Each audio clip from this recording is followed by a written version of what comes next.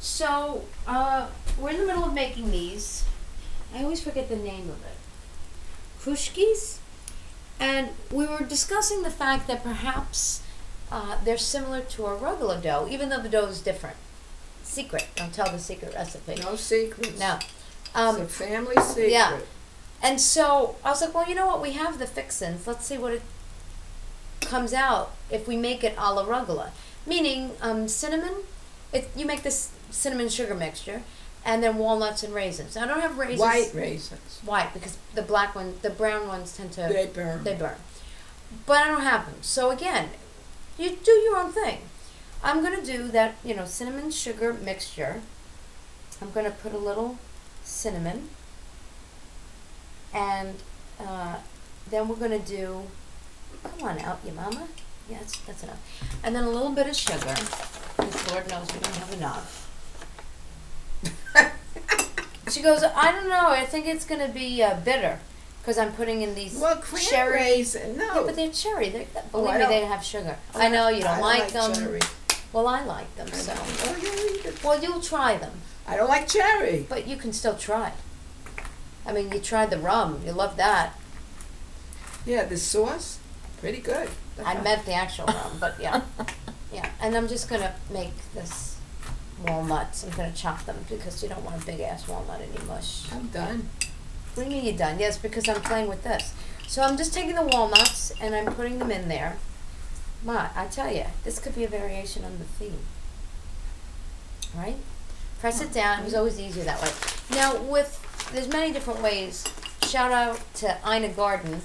She does a whole thing uh, with this pizza cutter and rolling, which actually I, I once did, and it really is easy, uh, or easier than or cut it out and roll each individual one. But I'm going to do that because we have a whopping two. Okay.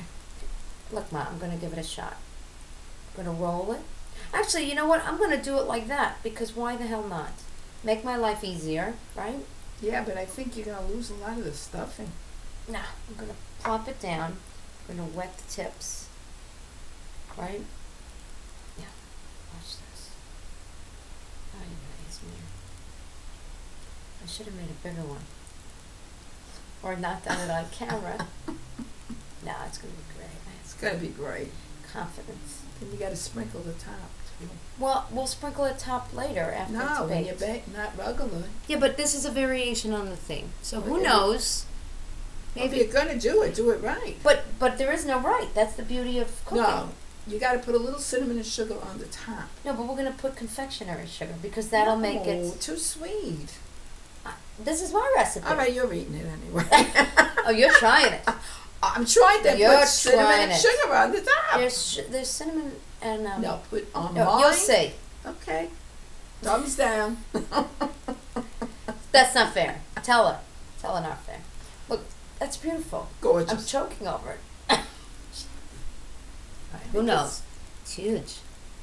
I'm telling you.